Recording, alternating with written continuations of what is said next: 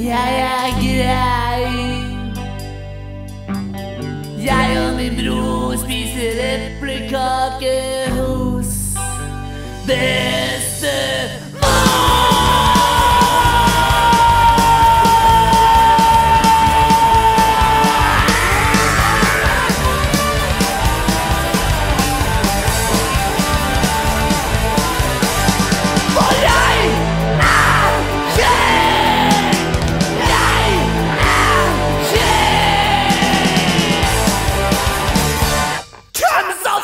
You?